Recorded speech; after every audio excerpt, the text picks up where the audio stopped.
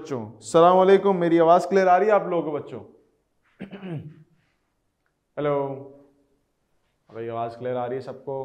सारे बच्चे जाग रहे हैं। अच्छा भाई बच्चों, हम लोग अभी पिछली कुछ क्लासेस में बात कर रहे थे हाइड्रोफाइट जीरोफाइट्स हेलोफाइट्स के बारे में।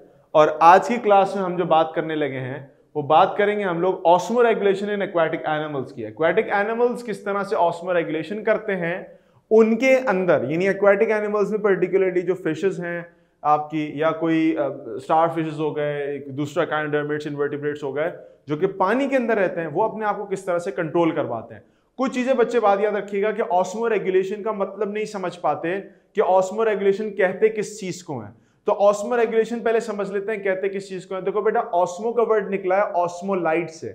And osmolytes mean solutes osmo regulation solute की और वाटर की रेगुलेशन का नाम है ऑस्मो रेगुलेशन आपकी बॉडी के अंदर, एनिमल्स की बॉडी के अंदर, जो भी ऑर्गेनिज्म है, प्लांट्स भी कुछ भी हो, उनके अंदर पानी और सॉल्ट्स के बैलेंस को ऑस्मो रेगुलेशन कहते हैं। इसे पीछे हम हाइड्रोफाइट्स, हेलोफाइट्स में देख के आए। एनिमल्स में पर्टिकुलरली दो ग्रुप्स हो जाते हैं जब हम एक्वेटिक एनिमल्स की बात करते हैं। पहला ग्रुप आपके पास होता है फ्रेश वाटर का और दूसरा ग्रुप होता है मरीन वाटर का।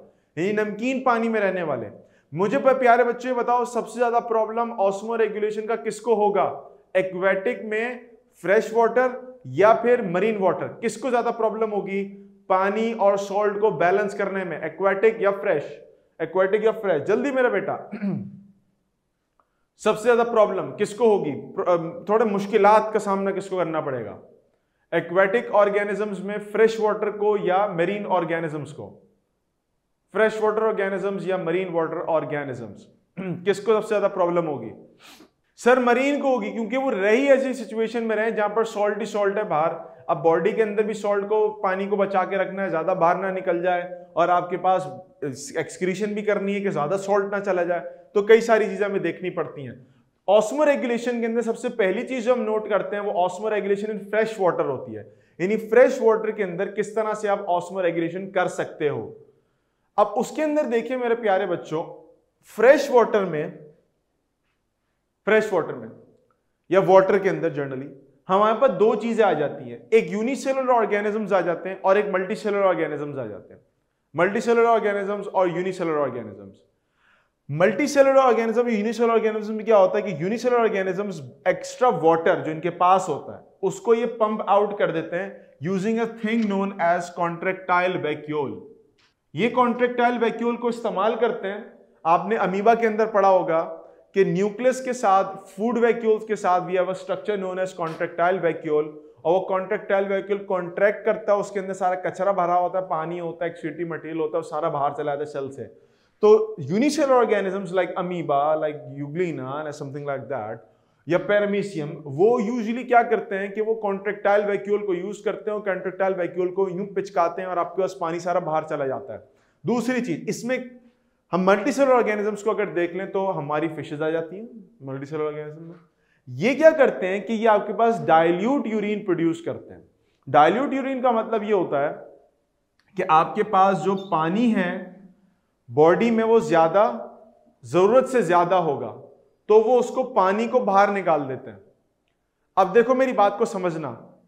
एक ऐसी मछली जो एक ऐसे पानी में रह रही है जहाँ पर नमक कम है, जहाँ पर नमक कम है। मुझे ये बताओ कि उसको अपनी बॉडी के लिए, सवाल गौर से सुनना, उसको अपनी बॉडी के लिए नमक ज़्यादा ज़रूरी है या पानी? एक ऐसी मछली जो एक ऐसी जगह पे रह रही है जहाँ पर नमकियात कम है, पानी ज़्यादा है। ऐसी मछली अपने लिए, अपने अंदर क्या चीज़ स्टोर रखेगी? पानी या नमक? चलो बच्चों, बताओ इसके बारे में। सर, नमक स्टोर करके रखेगी, क्योंकि बाहर नमक कम है तो वो अगर नमक ऐसी जाया करना शुरू कर दे तो नमक कहाँ से मिलेगा? सॉल्ट तो ज़रूरी होता है ना एक्टिविटीज़ परफॉर्म करने के लिए। तो what this fish actually do कि वो नमक को स्टोर करके ज़्यादा यूरिन बाहर निकालती है और ज़्यादा यूरिन के अंदर सॉल्ट ना होने के बराबर होते हैं। ज़्यादा यूरिन बाहर निकलना मींस डाइल्यूटेड यूरिन बाहर चला गया, पानी बाहर से वैसे ही अबंडेंट अमाउंट में आ रहा है सॉल्ट की कमी है सॉल्ट को स्टोर करेंगे, पानी सारा बाहर निकाल देंगे। डाइल्यूट यूरिन प्रोड्यूस हो रहा है। दूसरी चीज़ loss of salt is compensated by active uptake of salt active uptake क्या होती है? हमारे पास अगर बिल फ़र्ज़ बिल फ़र्ज़ सॉल्ट कम हो भी जाए, किसी वजह से तो एक्टिव ट्रांसपोर्टेशन होती है। ना एक्टिव ट्रांसपोर्टेशन क्या होती है? मेरे प्यारे बच्चों, जरा ये याद रख लेना। एक्टिव ट्रांसपोर्ट आप में से कोई जानते क्या होती है? आप नाइन्थ में शायद पढ़ के आयो एक्टिव ट्रांसपोर्ट पैसिव ट्रांसपोर्ट ये ट्रांसपोर्टेशन की टाइप्स क्या कोई बच्चा इन इन अल्फाज से कोई वाकिफ है? Sir higher to lower higher to lower क्या होती है? हायर टू लोअर मतलब क्या चीज़? मतलब मतलब मतलब हायर टू लोअर क्या होता है? एक्टिव या पैसिव आप समझो मेरी बात को। ये बीच में एक दीवार खड़ी कर दी मैंने। इस तरह मैंने रखे हुए सॉल्ट्स के किसी के मॉलिक्यूल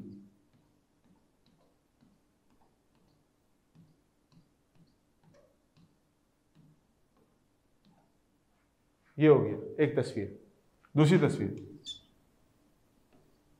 ऐसे ही है।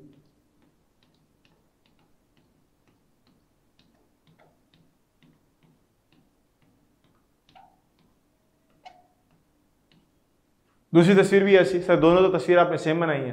बनाई, सेम है, बनाई, सेम है। खदीजा कह रही है, sir molecules grow lower to higher using an input of energy exactly ऐसा ही है। एनर्जी इस्तेमाल करनी पड़ती है। डायरेक्शन नोट करना आप हमारे पास लेट सपोज़ दो चीज़ें पहली चीज़, अगर तो मेरे पास मॉलिक्यूल की मूवमेंट्स ऐसी है हाई कंसंट्रेशन से लोअर कंसंट्रेशन की तरफ़। इसको हम कहते हैं passive movement of like molecules passive movement of molecules ज़्यादा कंसेंट्रेशन से कम कंसेंट्रेशन की तरफ़ अगर मूवमेंट हो रही है, इसको कहते हैं पैसिव मूवमेंट ऑफ़ मॉलिक्यूल्स ये उस वक्त होता है कि जब फॉर एग्ज़ाम्पल मैंने परफ्यूम लगाया. अब परफ्यूम लगाया ना मैंने तो जो मॉलिक्यूल्स थे वो ज़्यादा मेरे ऊपर आ गए. आ गए? अब यहाँ से मॉलिक्यूल्स डिफ्यूज करेंगे कमरे में, पूरे कमरे में. तो मुझे बताओ मॉलिक्यूल्स ऑफ़ परफ्यूम मेरे ऊपर ज़्यादा थे, कमरे पे ज़्यादा थे? कहाँ ज़्यादा थे? मॉलिक्यूल्स ऑफ़ परफ्यूम कमरे में ज़्यादा थे या मेरे ऊपर ज़्यादा थे? बोलो बोलो बोलो। कमरे में ज़्यादा या मेरे ऊपर ज़्यादा?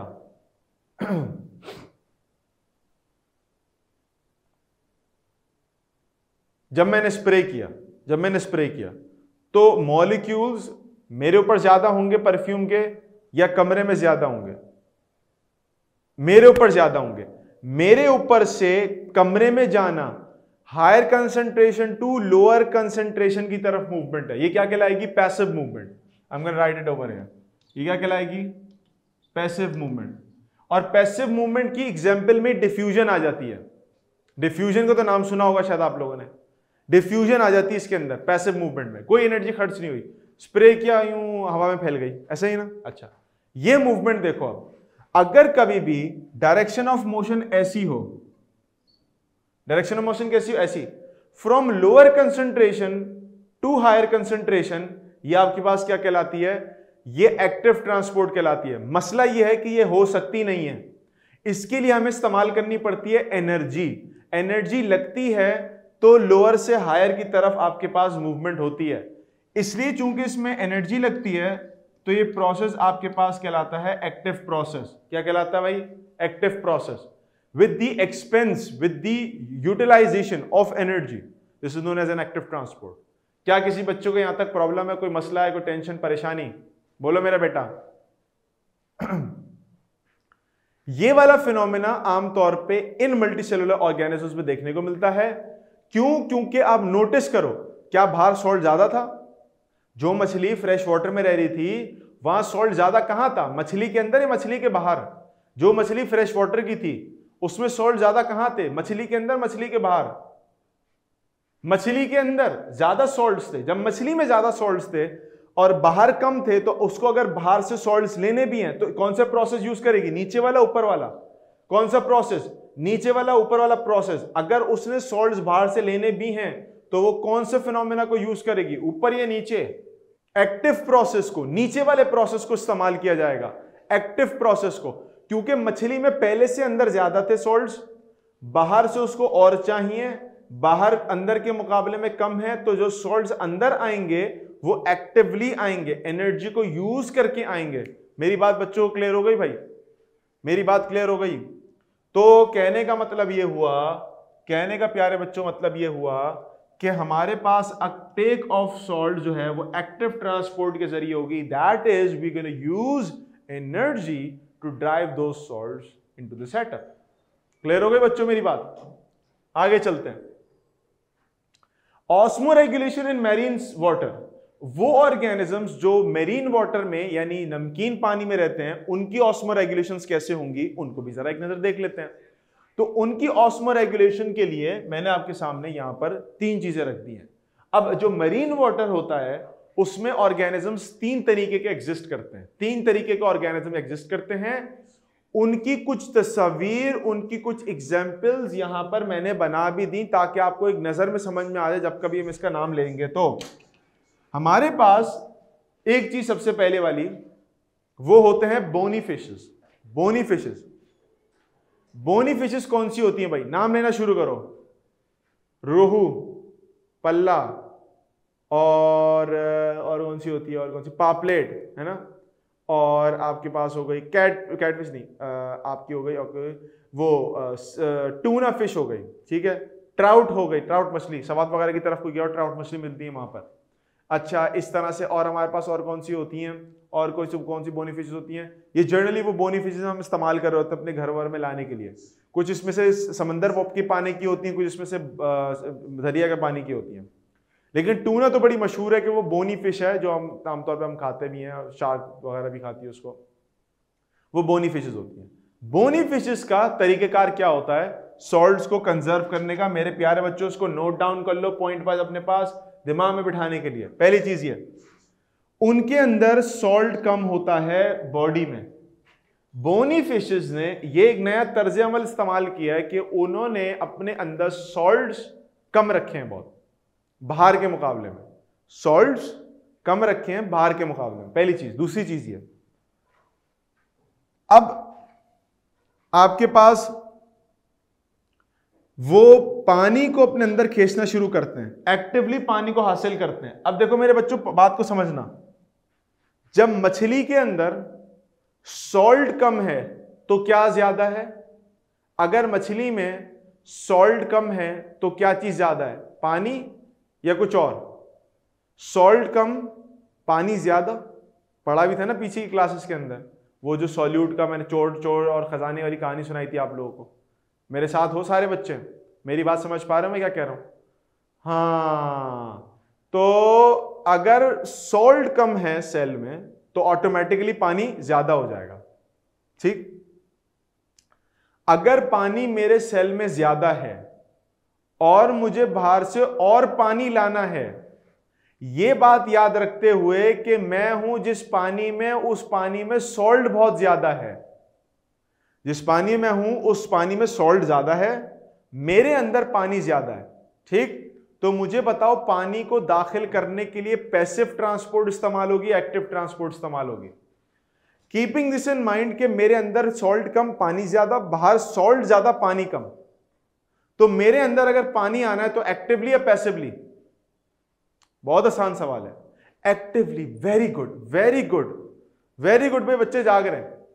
तो पानी को एक्टिवली मैं दाखिल करूँगा अपने अंदर with the expense of energy क्योंकि मुझे पता है कि मेरे पास अगर सॉल्ट ज़्यादा होता तो पानी ऑटोमेटिकली आ जाता।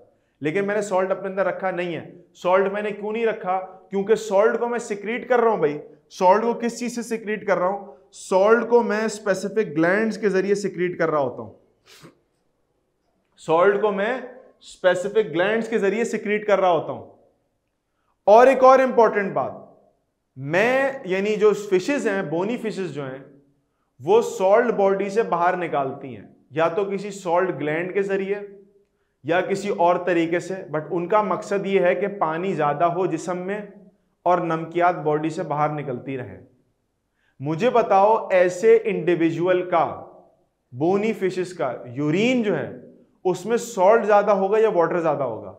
बोनी फिशेस का जो यूरिन है, जो एक्सक्रीटरी मटेरियल है वो सॉल्ट ज़्यादा रखेगा या पानी ज़्यादा रखेगा? बोनी बोनीफिशिस का सॉल्ट ज़्यादा वेरी गुड बच्चों, प्यारे बच्चों वेरी गुड आपके पास चूँकि उसका मकसद हयात है, पानी अंदर रखना और नमक बाहर निकालना तो उसको जो तरीका समझ में आएगा, उससे वो नमक बाहर निकालेगा और यूरिन के ज़रिए भी अगर बाहर निकाल रहा तो सॉल्ट वाटर यानी सॉल्ट ही आपके पास ज़्यादा होगा, उसका यूरिन कंसनट्रेटेड यूरिन होगा। सॉल्ट कंसनट्रेशन ज़्यादा होगी। बात समझ गए अब चलते हैं इसके उल्टे सिचुएशन के ऊपर। कार्डिलेजिनस फ़िश की तरफ़। कार्डिलेज क्या होता है? कुरकुरी हड्डी, ये वाली। ये कान की होती ना? इसको हम कार्टिलेज कहते हैं। कुरकुरी हड्डी होती है। कार्टिलेजिनस फ़िश के अंदर दो बड़ी कॉमन एग्जांपल्स हैं कार्टिलेजिनस फ़िश की। एक तो जो पीछे बनी हुई है, कौन सी वाली भाई? Shark shark is a cartilaginous fish shark की बॉडी के अंदर बोन्स नहीं होती, बल्कि पूरा सिस्टम कार्टिलेज कुरकुरी हड्डी से बना हुआ होता है। इसके अलावा हमारे पास होते हैं स्टिंगरे। स्टिंगरे देखी किसी ने? और डॉल्फिन फ़िश नहीं है। डॉल्फिन तो एम्फीबी वो है, मैमिल है, mammal. Dolphin is a mammal whale dolphin porpoise और बेलूगाज आपके पास वो मैमल्स हैं। कार्टिलेजनस फ़िश में पहली एग्जांपल आई थी शार्क की, दूसरी एग्जांपल आई थी स्टिंगरे की। स्टिंगरे देखी किसी ने? वो एक बड़ा मशहूर एक जमाने में, पता नहीं तुम लोग तो तुम लोग थे उस वक्त के नहीं थे दुनिया में। एक बड़ा मशहूर आपके पास वो था, एक क्या कह सकते हैं उसको एनिमल प्लेनेट पे आता था स्टीव इरविन नाम था उसका। स्टीव इरविन ऑस्ट्रेलियन जिसको स्टिंग रे ने सीने पे अपना वो मारा था स्टिंग और उसमें वो लाइक पॉइजनस होता है उससे डेथ हो गई थी उसकी। बड़ा मशहूर है। क्रोकोडाइल हंटर के नाम से बड़ा मशहूर बंदा है। स्टिंग रेज आपके पास होती हैं, है ना? तो वो आमतौर पे कार्टिलेजिनस होती हैं।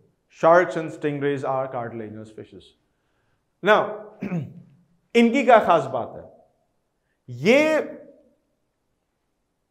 आपके पास they have high salt by storing urea इनकी बॉडी में सॉल्ट ज़्यादा होते हैं क्योंकि ये अपनी बॉडी में यूरिया वगैरह को स्टोर करके रखते हैं।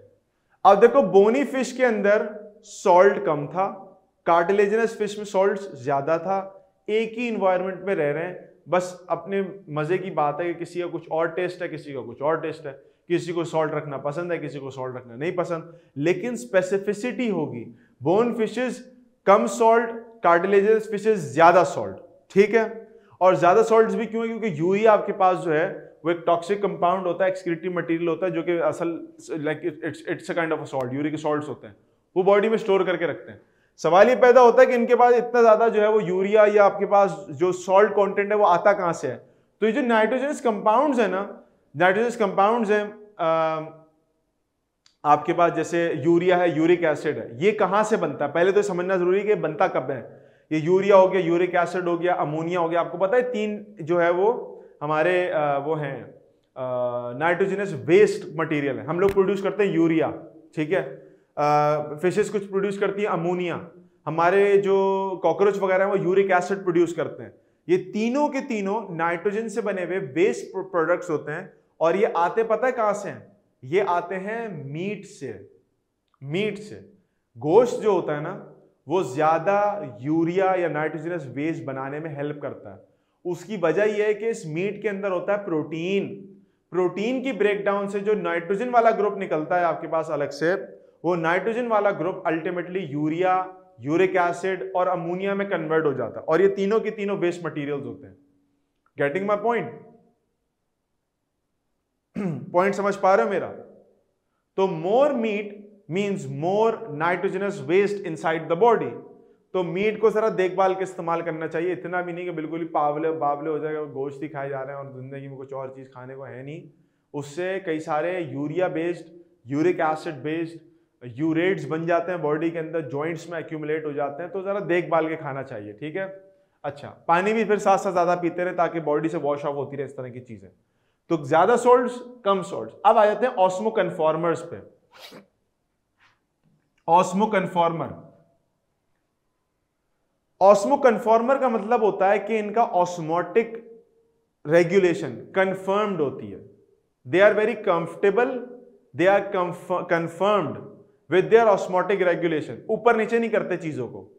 मिसाल के तौर पे, जो बाहर का सॉल्ट होगा, वही इनकी बॉडी का सॉल्ट भी होगा।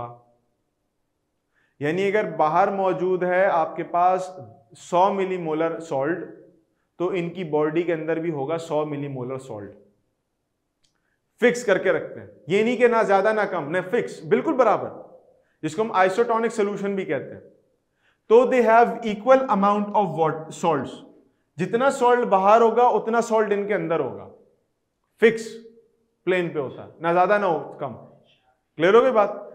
अब जब अंदर भी सॉल्ट उतना ही, इतना बाहर सॉल्ट है तो इनको ऐसा रिक्वायरमेंट्स नहीं होती कि भाई कंसंट्रेटेड यूरिन निकालो डायल्यूट यूरिन निकालो, ये करो, वो करो। इन मसलों में पड़ते ही नहीं सिरे से। चिल लाइफ गुजार रहे हैं अपनी। कंफर्टेबल लाइफ गुजार रहे हैं। कोई टेंशन ही नहीं है इनको किसी चीज़ की। एग्जाम्पल्स क्या होती हैं इनकी?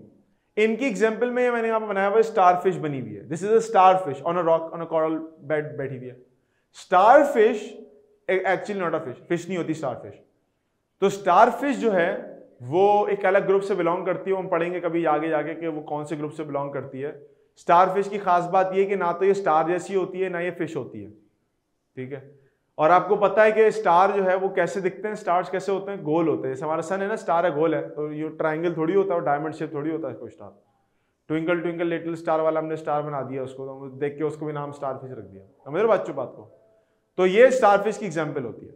मेरे प्यारे बच्चों, अजान हो रही है तो मैं आप लोगों को दस मिनट बाद, पाँच मिनट बाद दोबारा रिज्यूम कर रहा हूँ क्लास को, ठीक है? तो क्लास को दोबारा हम रिज्यूम करते हैं, पाँच मिनट के बाद अजान खत्म हो जाए। ठीक है प्यारे बच्चों? सलामकुम बच्चों, मैं वापस आ गया हूँ। आप लोगों को मेरी आवाज़ क्लियर आ रही है।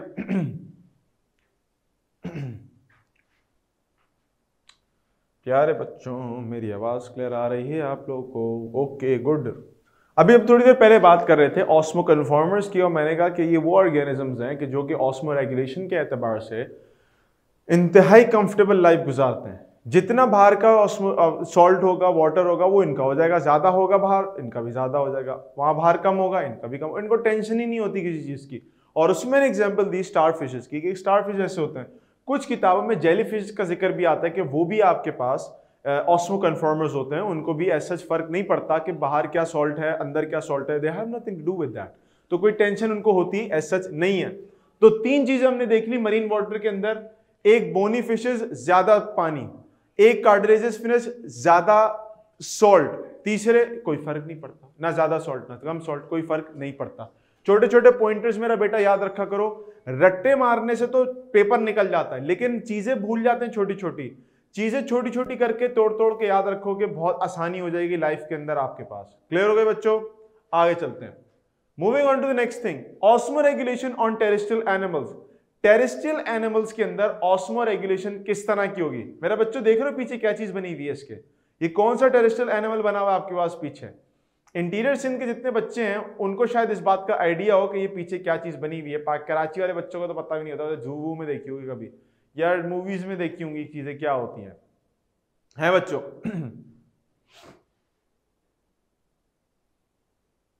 मॉनिटर लिजर्ड हसन ने कहा सर ये मॉनिटर लिजर्ड है बिल्कुल ऐसा ही है ये मॉनिटर लिजर्ड है आपके पास और it is one of the most pronounced terrestrial animal जो आपके पास घूम रही होती है इसकी इसकी ऑस्मो रेगुलेशन बड़ी सिवियर किस्म की होती है ना इसके अंदर हमारे पास क्या होता है कि हम यहाँ पर बात करते हैं ऑस्मो रेगुलेशन इन एनिमल्स की एनिमल्स की ऑस्मो रेगुलेशन ना सबसे पहली चीज़ क्या है कि एनिमल्स के अंदर एक्जोस्केलेटन होता है और थिक स्किन होती है एक्सोस्केलेटन मींस कि कोई रफ सरफेस होगी उनके ऊपर। और एक थिक स्किन होगी। मिसाल के तौर पे अगर हम बात करें कैमल की कैमल ऊँट जो होता है, बहुत मोटी स्किन होती है उसकी, सबसे पहली चीज़ तो ये। दूसरी चीज़ ये कि समटाइम्स एक्सोस्केलेटन में स्केल्स होते हैं। मेरे पीछे आपको नज़र आ रहे होंगे स्केल्स हैं। ये स्नेक के स्केल्स हैं। कभी आप जाके सर आप बोलोगे, सर, ये कैसे कैसा स्नेक है? इसके ऊपर तो कुछ गोल्डन और ब्लू का कलर शेड आ रहा है। What kind of a snake is that तो ये रेनबो पाइथन है हमारे पास, बहुत कम होते हैं दुनिया में और बहुत मुश्किल से ब्रीड कराए जाते हैं। उनका ही कलर होता है स्पेसिफिकली यानी ये रेनबो पाइथन्स कहलाते हैं they have a very beautiful colour कभी अगर आपको मौका मिले इसको सर्च करना तो ये उनके स्केल्स होते हैं, उनकी बॉडी के। ये इस तरह से रेनबो कलर के स्नेल्स होते हैं स्केल्स होते हैं। स्केल जस्ट लाइक जैसे फ़िश के ऊपर होते हैं, इस तरह से स्केल्स होते हैं। रेप्टाइल्स के ऊपर भी स्नेक्स के ऊपर भी।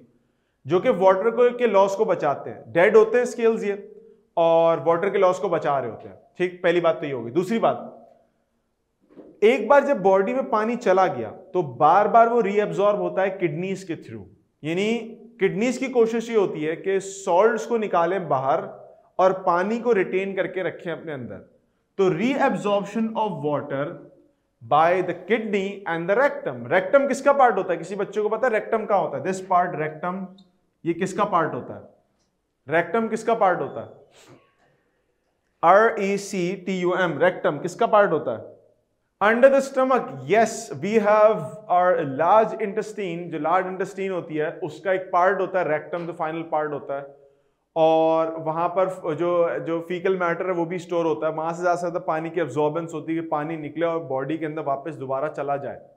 तो उसको कहते हैं रेक्टम तो रेक्टम भी और किडनी भी दे मेक श्योर कि पानी ज़्यादा से ज़्यादा बॉडी के अंदर स्टे करे कंजर्व रहे, ज़्यादा जाया ना हो। क्लियर हो गई बात? आगे चलते हैं।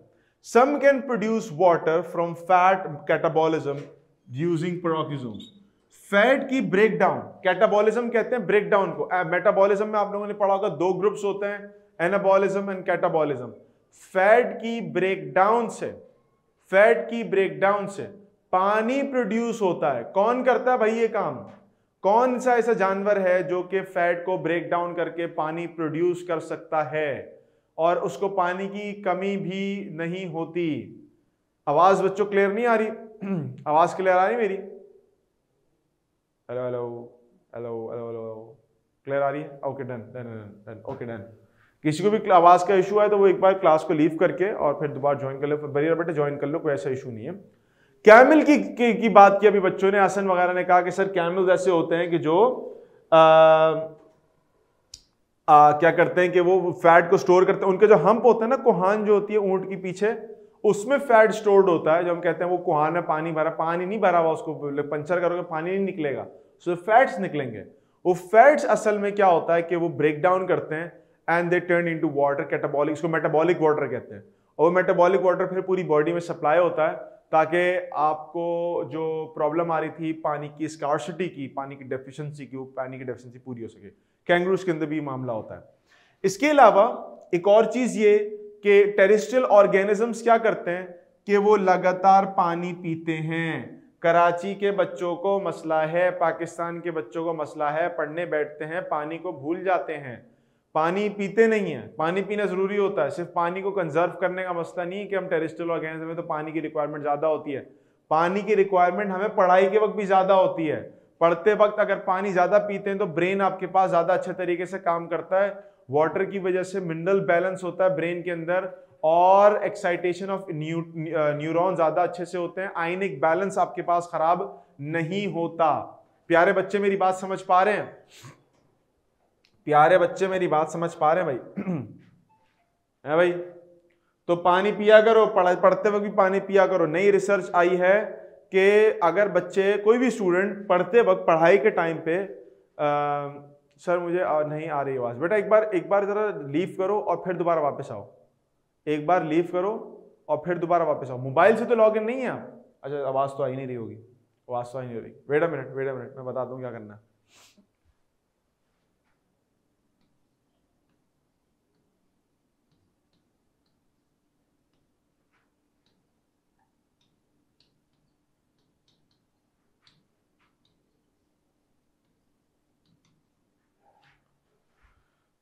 जिन जिन बच्चों को प्रॉब्लम होती है, आवाज़ की वो देख लें।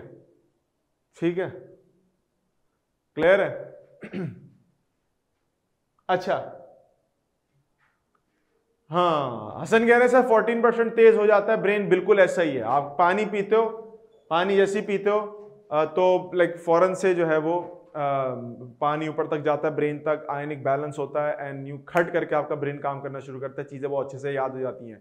तो you are a terrestrial organism अपने आपको मछली ना समझा करें आप लोग कि हम पानी जो अपने अंदर बचा के रखेंगे तो हमारी परफॉर्मेंस अच्छी होगी परफॉर्मेंस खराब हो जाएगी, पानी अगर नहीं मिलेगा तो। आठ ग्लास कम अज कम पीने रहे उसके। आगे चलते हैं। Excretion in terrestrial animals terrestrial animals जो हैं, उनमें एक्सक्रीशन कैसे होती है, इसके बारे में बात कर लेते हैं। लेकिन उससे पहले, जो पीछे डायग्राम बनी, कोई आइडेंटिफाई कर सकता है क्या चीज़ है? ये कोई आइडेंटिफाई कर सकता है इसको? ये क्या चीज़ है, जो पीछे तस्वीर में बनाई हुई है? Can anyone identify this little thing that is like walking, slithering onto a leaf? It's a flatworm. Example, example. Hasan ने बिल्कुल सही डिड्यूस किए यहाँ पर ये फ्लैट वॉर्म है very good what is the name of this flatworm आप लोगों नाम पढ़े पढ़े कभी फ्लैटवॉर्म्स के नाम पढ़े कौन कौन से फ्लैटवॉर्म्स होते हैं? टेनिया सेजिनेटा और वो लाइक टेप वॉर्म्स होते हैं। लिवर फ्लूक होता है। नहीं अर्थवम नहीं अर्थवॉर्म नहीं है ये। अर्थवम होता है इसके अंदर रिंग्स बने हुए होते हैं। ये है प्लेनेरिया। प्लेनेरिया नाम है इसका। आप देखोगे प्लेनेरिया बड़ा कॉमन है। प्लेनेरिया को हम लोग रेस्क्रिशन में पढ़ते हैं। प्लेनेरिया को हम लोग प्लेटी हेलमेंथस के अंदर पढ़ते हैं। मतलब कई सारी जगहों पर प्लेनेरिया का ज़िक्र आता है। ये प्लेनेरिया है। आज के बाद, कभी भी ज़िंदगी में, मैट्रिक के बाद फ़र्स्ट ईयर में आओगे सेकेंड ईयर में आओगे, ज़िंदगी में कभी भी प्लेनेरिया का लफ्ज याद करो, इस तस्वीर को याद कर लेना। ये है प्लेनेरिया। ठीक है? तो टेरिस्टल एनिमल्स के अंदर एक्सक्रीशन को देखते हैं। तो चार तरीके से एक्सक्रीशन हो सकती है एनिमल्स के अंदर। चार तरीकों के अंदर एक्सक्रीशन होती है एनिमल्स के अंदर। सबसे पहली चीज़ को समझो मेरा बेटा। एनिमल्स में हमारे पास जो सबसे पहला ऑर्गेनिज्म आता है, उसका नाम है प्लेनेरिया अभी जो पीछे दिखाया मैंने आपको। प्लेनेरिया पीछे दिखाया? प्लेनेरिया में फ्लेम सेल्स होते हैं। याद रखना है नाम फ्लेम सेल्स फ्लेम सेल्स कैसे? फ्लेम कहते हैं आग को। अगर हम प्लेनेरिया को बीच में से काट देते हैं ना, ऐसे खोल लेते हैं प्लेनेरिया को, दो पीसेस में। तो प्लेनेरिया के अंदर जो उसकी जो एक्सक्रीटरी सिस्टम है ना पूरा, वो इस तरह से होता है जैसे आग लगी हुई है। ट्यूब ट्यूब ट्यूब्स ट्यूब बहुत सारी ट्यूब बिखरी हुई होती हैं ऐसी, ऐसा लगता है फ्लेम्स जनरेट हो रहे हैं फ्लेम्स जनरेट हो रहे हैं। तो वो दूर से देखने में ऐसा लगता है कि प्लेनेरिया जो है ना फुल स्टाइल में चल रही है स्वैग के अंदर, कि उसके अंदर उसके अंदर जो इसका एक्सक्रीटरी सिस्टम है वो full fire on it's on fire देखने में लगता है। ठीक है? और दूसरी एक और चीज़ ये होती है कि इसकी बिल्कुल टिप्स के ऊपर हमें तो हमारे पास डिटेल नहीं है तो मैं डिटेल में नहीं आऊँगा, लेकिन मैं एक जर्नल आपको बता दूँ। इसके टिप्स के अंदर ना एक बल्ब लाइक स्ट्रक्चर लगा हुआ होता है, और उसके अंदर कुछ इस तरह से चीज़ होती है। मिसाल के तौर पे ये बना हुआ होता है, ऐसे करके। और उसमें ना यूँ करके आपके पास कुछ धागे नुमा स्ट्रक्चर होते हैं, धागे। ये धागे ना इस तरह से बीट कर रहे होते हैं, ऐसे ऐसे बीट कर रहे होते हैं, यूँ हिल रहे होते हैं। जुड़े हुए होते हैं एक दूसरे के साथ और ये बीटिंग कर रहे होते हैं। उन धागों की बीटिंग सीलिया की बीटिंग के नतीजे में ऐसा लगता है जैसे मोमबत्ती जलाते हैं ना तो यूँ यूँ करके टिमटमारी होती है उसकी जो मोमबत्ती की जो आग होती है। तो बिल्कुल इस तरह से ये सेल्स आपके पास जो सीलिया होते हैं, यू हिल रहे होते हैं। तो देख के ऐसा लगता है जैसे कोई कैंडल है कैंडल है कैंडल के अंदर जो है ना आपके पास वो जो आग वाला पोर्शन है वो हिल रहा है ऐसे करके। तो ये दो तीन चीज़ों की वजह से इनको फ्लेम सेल्स कहते हैं। तो इनकी अपेरेंस स्वैग होती है थोड़ी सी, और दूसरा है कि सीली अंदर ऐसे हिलते हैं, ऐसे फ्लेम मिल रहा होता है। ये प्रोड्यूस करते हैं dilute urine dilute urine produce करते हैं, और डायल्यूट यूरिन का मतलब ये कि सॉल्ट्स कम होंगे। और वो डायल्यूट यूरिन आता कहाँ से? जितना भी एक्सक्रीटरी मटेरियल है, वो फ्लेम सेल्स तक पहुँचता कैसे है? वो फ्लेम सेल्स तक पहुँचता है टिश्यूज के ज़रिए। एक टिश्यू, दूसरा टिश्यू, तीसरा टिश्यू अपने अंदर से सारा कचरा निकाल के और फिर बहते हुए लेके आएँगे फ्लेम सेल्स के अंदर और फ्लेम सेल्स जो है वो सॉल्ट्स को वापस फेंक देगा और पानी वाला पोर्शन जो है बॉडी से बाहर फेंक देगा। तो जो एक्सक्रीशन हो रही है, वो बहुत ही डाइल्यूटेड फॉर्म में यूरिन की हो रही है। जो एक्सक्रीटा है, उसको हम यूरिन कह रहे हैं और उसमें सॉल्ट्स का कंटेंट बहुत कम है। मेरे बेटा, मुझे बताओ, इसमें कोई तफसील तलब बात, कोई ऐसी बात जो आपको परेशान कर रही हो, जो मैंने बात इतनी देर में बोली है? प्लेनेरिया फ्लेम सेल्स सॉल्ट्स कम टिश्यूज के फ्लूड से एक्सक्रीटरी मटेरियल कचरा सारा जमा हो रहा है। कहाँ जमा हो रहा है? फ्लेम सेल्स में जमा हो रहा है। ठीक है मेरे बच्चों? Okay the next thing earthworm earthworm का ज़िक्र अभी किया था पीछे बरीरा ने भी। क्या कहते हैं तुम लोग इसको उर्दू में? केंचवे क्या कहते हो? ऐसे कहते हैं ना केचवे कहते हैं ना इसको, उर्दू में।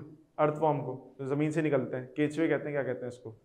ये तो कछवा होता है ना, वो तो टर्टल होता है। केंचवे कहते हैं शायद इसे। कीचड़े समथिंग कुछ इसी तरह से कुछ कहते होंगे। बताइए तुम लोग को उर्दू इतनी अच्छी आती कि नहीं आती? खैर अर्थवॉर्म अर्थवॉर्म के अंदर जो उसका एक्सक्रीटरी ऑर्गन है ऑर्गन उसको कहते हैं meta metanephridia metanephridia मेरे बच्चों, ये नाम याद करने आपने वो अच्छे से।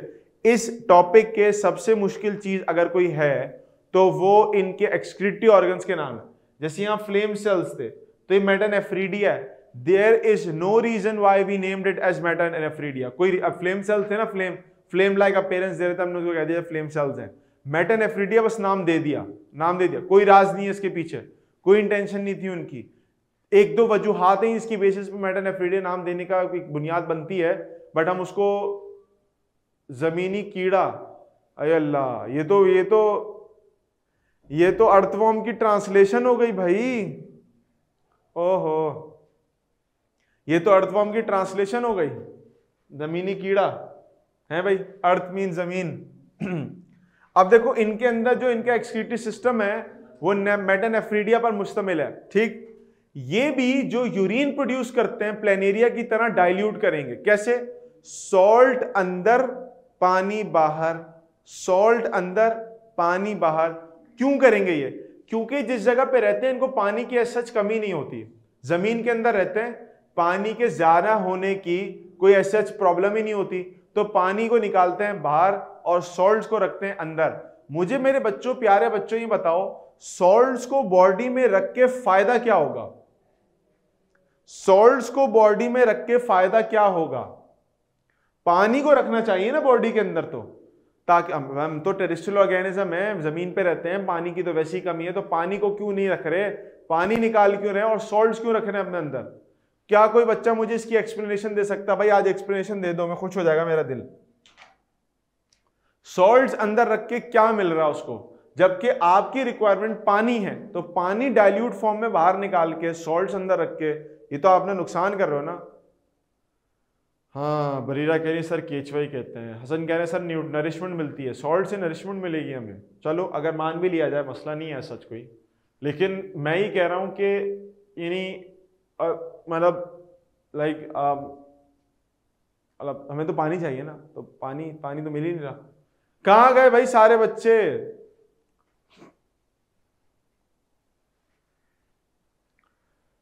जवाब नहीं आ रहा। मुश्किल हो गया बच्चों के लिए। बच्चे बोल रहे हैं, सर, हमसे ना हो पाएगा। है भाई, क्वेश्चन दोबारा कर लेता हूँ। मैंने कहा, देखो अर्थवॉर्म मेटानेफ्रीडिया के ज़रिए डायलूट यूरिन प्रोड्यूस कर रहा है। डायल्यूट यूरिन प्रोड्यूस कर रहा है। डायल्यूट यूरिन का मतलब यह है कि यूरिन के अंदर पानी ज़्यादा सॉल्ट कम। सॉल्ट चले गए बॉडी में पानी चला गया बॉडी से बाहर। सवाल मेरा यह था कि टेरिस्टल ऑर्गेनिज्म को तो पानी ही चाहिए। अभी पीछे पड़ के आए ना। तो जब पानी उसको चाहिए तो वो पानी निकाल क्यों रहा है? पानी रोक क्यों नहीं रहा? सॉल्ट्स निकाले ना बॉडी से बाहर। सॉल्ट्स अंदर रख के क्या फ़ायदा हो रहा है? पानी निकाल के उसको क्या मतलब कि क्या मिल रहा है? उसको तो उल्टा ही नुकसान ही हो रहा है ना। लेकिन वो ऐसा क्यों कर रहा है? मुझे जरा बताओ ना। प्लान एरिया भी ये काम कर रहा है, ये भी पागल हो गया, बावला हो गया। मैं अभी सिलोमिक फ्लूड पे आऊँगा सिलोमिक कैविटी पे आऊँगा, मैं अभी उस पर नहीं आ रहा। जो मेरा सवाल है, मैं वो पूछने जा रहा हूँ कि पानी को निकाल के क्या मिल रहा है आपको? ठीक है? कि मतलब कोई पानी का बचत बाज़ार लगा हुआ है, कोई सेल वेल लगी हुई है कि पानी आपको एक्स्ट्रा मिल जाएगा। पानी की तो कमी है, हम तो ज़मीन पर रहने वाले ऑर्गेनिजम्स हैं, पानी तो वैसे ही कम हो रहा है। फिर भी ये पानी निकाल रहे हैं सॉल्ट रोक रहे हैं बॉडी में। किसी बच्चे के पास जवाब नहीं है, भाई सब हार गए। सबने हाथ खड़े कर दिए यहाँ पर। आए हाय, मुश्किल हो गया। चलो मैं बता देता हूँ, तुम लोगों से नहीं होगा। एक्सक्रीटरी वॉट नहीं नहीं नहीं। Exact reason reason reason reason reason छोड़ो, मैं मैं उगलवाता हूँ तुम लोगों से भी। उगलवाता हूँ तुम लोगों से भी। मुझे एक बात बताओ। क्या लो कोशिश करो कोशिश करो। मैं दे रहा हूँ, एक मिनट और दे रहा हूँ। मैं एक मिनट और दे रहा हूँ। हाँ भाई, बच्चों। कुछ कुछ कह रहे हैं, बच्चे कुछ कह रहे हैं। कह रहे हैं, सर फ़िल्टर हो जाता है टिश्यू और ब्लड नमक कहाँ गया? नमक तो बॉडी के अंदर ही है, पानी निकल गया बाहर. अब सुनो भाई, नहीं हो पा रहा, मैं बताता हूँ। अभी जवाब तुम लोग खुद दोगे। सर बिकॉज़ हमारे अंदर जब सॉल्ट की कमी होती है तो हम निढाल हो जाते हैं. अल्लाह, बच्चे को देखो, परेशान हो गया ये। देखो, तुम लोगों ने ओआरएस के कारोबार करने वालों का ना कारोबार बंद करवाना है, अगर तुम लोग ऐसी बातें करोगे तो। पानी से नहीं होता सर कैटाबॉलिक रिएक्शन सर निमकोल अय है देखो ऐसी बातें कर रहे हो तुम लोग मेरा दिल बैठा जा रहा है. मेरी बात तो सुन लो मेरी बात तो सुन लो. मैं भी कुछ कहना चाह रहा हूँ ना मेरी भी तो बात सुनो. देखो मुझे बताओ अगर नमक बॉडी में ज़्यादा होगा तो पानी बॉडी से के अंदर जाएगा बॉडी से बाहर जाएगा? हमने नम, हमारे पास यूरिन था. सुनना मेरी बात. यूरिन था सॉल्ट रोक लिया पानी बाहर. हाँ. Yes now listen to me पानी बाहर चला गया. अब बॉडी के अंदर सॉल्ट ज़्यादा है, मुझे बताओ बॉडी में अब ज़्यादा पानी लेने की कैपेसिटी बढ़ गई या कम हो गई? बॉडी में अंदर नमक होने की वजह से ज़्यादा पानी लेने की कैपेसिटी बढ़ गई या कम हो गई?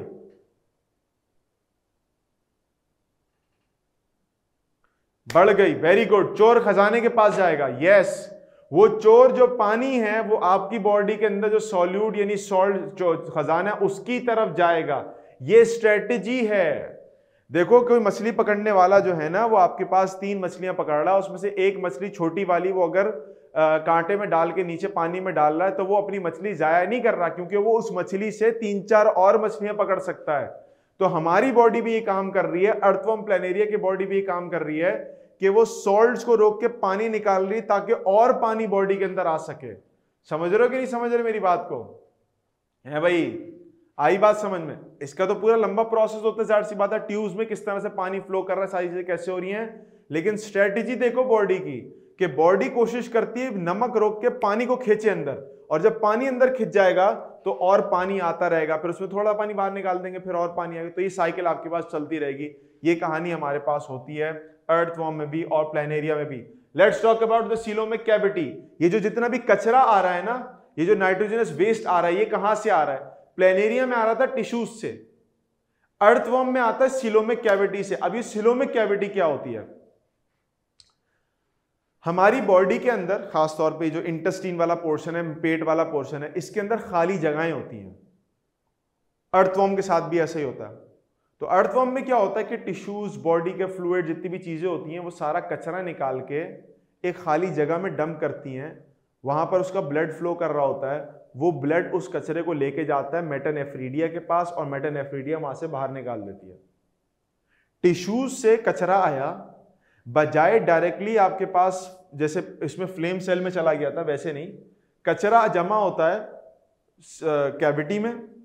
कैविटी में से ब्लड फ्लो करता है और ब्लड फिर जाके मेटानेफ्रीडिया के पास कचरा लेके जाता है, वहाँ से सॉल्ट रोक लिया जाता है पानी आगे निकाल दिया जाता है। तो खाली कैविटी खाली स्पेस आपके एनेलिड्स के अंदर, आपके अर्थवॉर्म्स के अंदर सीलोमिक कैविटी कहलाती है सीलोमिक कैविटी कहलाती है। खाली स्पेस के अंदर कचरा जमा होता है, वहाँ से मूव मूव करता है, नालियों के अंदर, नालियों को मेटन एफ्रीडिया कहते हैं और मेटन एफ्रीडिया फिर सॉल्ट्स को रोक के पानी निकाल देती है डायल्यूट निकल जाता है। आगे चलो भाई, आगे आप सबका पसंदीदा कॉकरोच कॉकरोच क्या करता है भाई? कॉकरोच जो है, उसके, उसका जो उसका जो उसका जो एक्सक्रीटरी ऑर्गन है, उसको हम कहते हैं मेलफीजन ट्यूब्यूल्स ये भी छोटी छोटी नालियाँ होती हैं और इनशाला जब आप लोग फ़र्स्ट ईयर के अंदर जाओगे तो वहाँ पर आपको कॉकरोच की डायसेक्शन करनी पड़ेगी. डायसेक्शन करके आपको ये मेलफीजन ट्यूब्यूल्स निकालनी पड़ती हैं समटाइम नर्वस सिस्टम भी निकालना पड़ता है. तो वहाँ पर आप इसको बाकायदा देख भी सकते हो. तस्वीरें देखना तो एक अलग कहानी होती है, खुद अपने हाथ से जब उसके कचरा साफ़ करने वाली नालियों को आप लोग देखोगे और उसको डाइसेक्ट करोगे और उसको चेक करोगे, वो कैसी होती हैं तो मैं आपकी फीलिंग्स पूछूँगा। आई गेस आप लोगों को बहुत अच्छा फील होगा। ठीक है? ना सो ना नेक्स्ट थिंग इज़ कि ये जो मेलफिजन टिब्यूल्स है, इसमें से यूरिक एसिड के पैलेट्स निकलते हैं। ब्लैक या वाइट कलर के छोटे छोटे से पैलेट्स टुकड़े टुकड़े से निकलते हैं, जर्रात से निकलते हैं, जो कि इसका एक्सट्रीटरी कंपाउंड होता है। इससे पहले वाले जितने भी ऑर्गेनिजम्स थे, चाहे प्लेनेरिया हो, चाहे अर्थवॉर्म हो, ये अपने पास से यूरिन प्रोड्यूस करते हैं लिक्विड फॉर्म में नाइट्रोजनस वेस्ट बना रहे थे। जबकि अगर हम बात करें कॉकरोच की तो कॉकरोच सॉलिड फॉर्म में सॉलिड फॉर्म में यूरिक एसिड के क्रिस्टल्स या पैलेट्स बना रहा है। मेरे प्यारे बच्चों, ये बताओ, जब उसने यूरिक एसिड के पैलेट्स बनाए हैं तो अब यहाँ पर इस यूरिक एसिड के पैलेट्स के अंदर पानी ज़्यादा होता है, कम होता है? यूरिक एसिड के पैलेट्स में जो टुकड़े हैं, उनमें पानी ज़्यादा होगा या कम होगा?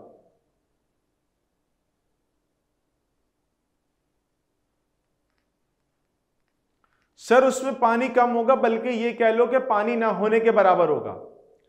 चूँकि इसकी, इसके अंदर थोड़ा सा सीन चेंज होता है अर्थवॉर्म के अंदर। अर्थवॉर्म क्या करता है? सॉरी कॉकरोचेस क्या करते हैं? इनके ऊपर एक कवर होता है शेल होता है, जो कि एक्जोस्केलेटन होता है, इनके ऊपर का शेल होता है। और ये, वो वही वही इसका वो इसका स्केलेटन होता है जिसका अगर कभी आप पाँव रखो ना कॉकरोच के ऊपर तो कटक करके एक आवाज़ आती है, कच करके। यूँ ना क्रश होता है वो। कभी नोटिस किया अगर आपने? तो वो जो कच करके, कटक करके आवाज़ आती है, वो बेसिकली वो शेल लाइक एक्जोस्केलेटन होता है उसका, जो कि डेड होता है नॉन लिविंग होता है, और वो उसके अंदर से पानी को बाहर निकलने से रोकता है। तो ये जो कॉकरोच है, इसको एज सच पानी के लॉस का इशू नहीं होता। पानी के लॉस का इशू नहीं होता। तो ये पानी अपने अंदर स्टोर करके रखता है और कचरा जो है वो सॉलिड फॉर्म में बाहर निकालता है। अब इसमें जो कचरा जमा हो रहा है वो कहाँ से आता है? तो देखो इसके अंदर हीमोलिम्फ होता है। हीमोलिम्फ व्हाइट कभी अगर कॉकरोच मारा हो, आपने कुचला हो अगर कॉकरोच मारना नहीं, कुचला होगा तो उसमें व्हाइट कलर का फ्लूड निकलता है। पिचक करके होता है ना तो व्हाइट कलर का फ्लूड फैल जाता है। उसको कहते हैं व्हाइट कलर के फ्लूड को, जैसे हमारा ब्लड होता है ना, रेड कलर का कॉकरोच का ब्लड व्हाइट कलर का होता है। उसको कहते हैं हीमोलिम्फ लिम्फ। व्हाइट कलर का होता है, इसलिए हीमोलिम्फ कहते हैं। ऑक्टोपस देखा है आप लोगों ने अपनी ज़िंदगी में? असली में तो शायद ना देखा हो, टीवी पे देखा होगा। ऑक्टोपस। ऑक्टोपस टीवी पे देखा तो होगा। टीवी पे देखा होगा। ऑक्टोपस को अगर मारेंगे ना तो ऑक्टोपस का ब्लड होता है ब्लू कलर का। उसके ब्लड को कहते हैं हीमोसाइनिन। साइनिन या साइनिन का वर्ड इस्तेमाल होता है ब्लू के लिए। तो हीमोलिम्फ, सफ़ेद ब्लड ब्लू ब्लड, हीमोसाइनिन और रेड ब्लड हमारा हीमोग्लोबिन की वजह से। हीमोग्लोबिन की वजह से हमारा रेड ब्लड होता है। समझ रहे हो प्यारे बच्चों? तो blue blood, haemocyanin, octopus, white blood, cockroach, haemolymph, red blood हमारा हीमोग्लोबिन की वजह से टेस्ट करवाया होगा कभी किसी ने सीबीसी वाला। तो उसमें हीमोग्लोबिन का टेस्ट होता है और ग्लोबिन आपके पास जो, वो प्रोटीन होती है जो रेड कलरेशन देती है। रेड कलरेशन देती है। तो हीमोग्लोबिन का टेस्ट होता है बॉडी के अंदर हमारी। तो ठीक? तो कॉकरोच का ब्लड व्हाइट होता है, ब्लड के अंदर कचरा भरता है, वो ब्लड का ब्लड जब फ्लो करता जाता है मेल्फिजन टिब्यूल्स के साथ, वो वहाँ से पानी को खींच लेते हैं और सॉलिड फॉर्म में यूरिक एसिड बाहर निकाल देते हैं। सॉलिड फॉर्म में यूरिक एसिड बाहर निकाल देते हैं। मेरे बच्चों, क्लियर हो गई बात? यस और नो क्लियर हो गई बात? यस और नो आज की आखिरी बात बस बताने लगा हूँ, फिर क्लास को वाइंड अप कर रहा हूँ। वर्टिब्रेट्स की बात कर लेते हैं। वर्टिब्रेट्स कौन? हम वर्टिब्रेट्स हैं। सर कैसे पता चला हम वर्टिब्रेट्स हैं? हमारी बैक साइड पे एक वर्टिबल कॉलम चल रही रीढ़ की हड्डी चल रही है। जिस जिस ऑर्गेनिज्म के अंदर रीढ़ की हड्डी होती है वो वर्टिब्रेट कहलाता है। चाहे फ़िश चाहे फ्रॉग चाहे आपके पास छिपकली चाहे मुर्गी पर, परिंदे चाहे हम तमाम ऑर्गेनिजम्स बैट्स एनीथिंग जो कि आपके पास इस एम्फीबियंस रेप्टाइल्स एव्स और फिशेस स्पाइसेस और मैमल्स के ग्रुप्स में आते हैं सब के सब वर्टिब्रेट्स हैं। इनके अंदर फिल्ट्रेशन होती है गुर्दों के ज़रिए, गुर्दे। किडनीज के ज़रिए फिल्ट्रेशन होती है, प्यारे बच्चों। किडनीज के ज़रिए फिल्ट्रेशन होती है। किडनीज के ज़रिए फिल्ट्रेशन होती है। और प्रोड्यूस क्या होता है? लिक्विड फॉर्म में लिक्विड फॉर्म में यूरिया यूरिक एसिड या अमोनिया तीनों चीज़ें प्रोड्यूस होती हैं। फिशेज आमतौर पे अमोनिया बनाती हैं। अच्छा यूरिक एसिड आपके पास जो है वो रेप्टाइल्स बनाते हैं, यूरिक एसिड रेप्टाइल्स बनाते हैं। हम लोग जो है, हम और बर्ड जो हैं वो अमोनिया एनएस थ्री बनाते हैं। तो तमाम ऑर्गेनिजम्स किडनी गुर्दे इस्तेमाल करते हुए तीन कोई सी भी नाइट्रोजनस वेस्ट प्रोड्यूस करते हैं और उससे फिर आपके पास जो है वो, उसको हम फिर एक्सक्रीट कर देते हैं बॉडी से बाहर। अच्छा तीसरी चीज़ ये। हमारे पास जितना भी कचरा जमा होता है वो ब्लड में जमा होता है और ब्लड से किडनीज में जाता है। आप लोगों को अगर किसी बंदे के देखा हो, किसी का अगर डायलिसिस होते हुए देखिए कभी किसी को, अपनी लाइफ में। डायलिसिस में क्या करते हैं? डायलिसिस में किडनीज काम करना छोड़ देती तो मशीन पे आ जाता है बंदा। मशीन पे क्या करते हैं कि या तो पिन जो होती है ना प्रोब या तो वो लगती है ब्लड के अंदर, या वो लगती है आपके पास ये पेरेटोनियल मेम्ब्रेन जो होती है ना, आपकी जो इंटेस्टीन वाला पोर्शन होता है, यहाँ लगती है। क्यों लगती है? ब्लड ही से कचरा बाहर निकालते हैं अमोनिया एक तरफ़ जाता है, या जो नाइट्रोजन एक तरफ़, और ब्लड वापस बॉडी के अंदर चला जाता है। तो ब्लड से एक्सट्रैक्ट करते हैं ब्लड की फिल्ट्रेशन करते हैं। और किडनी का काम भी यही है किडनी को कहते हैं filter of the body body को फ़िल्टर करती है आपकी किडनी कचरा अपने पास ब्लड वापस। तो ब्लड के ज़रिए कचरा निकाला जाता है। Let me summarise it for your class को एंड कर देता हूँ। Planaria flame cells dilute urine आपके पास कॉकरोचेज मेटेनेफ्रेडिया डायल्यूट यूरिन आपके पास arthropods like cockroaches malpighian tubules uric acid के pellets solid particle chordates kidneys तीन टाइप के nitrogenous waste urea uric acid और अमोनिया मेरे प्यारे बच्चों, आज की क्लास को यहीं तक रखते हैं। इंशाल्लाह आप लोगों से अगले हफ़्ते मुलाकात होती है। उम्मीद है कि आप लोगों को आज की क्लास अच्छी लगी होगी। कुछ एडिशनल इंफॉर्मेशन मिली होगी। आज के लिए इतने रखते हैं। असल अल्लाह हाफिज़.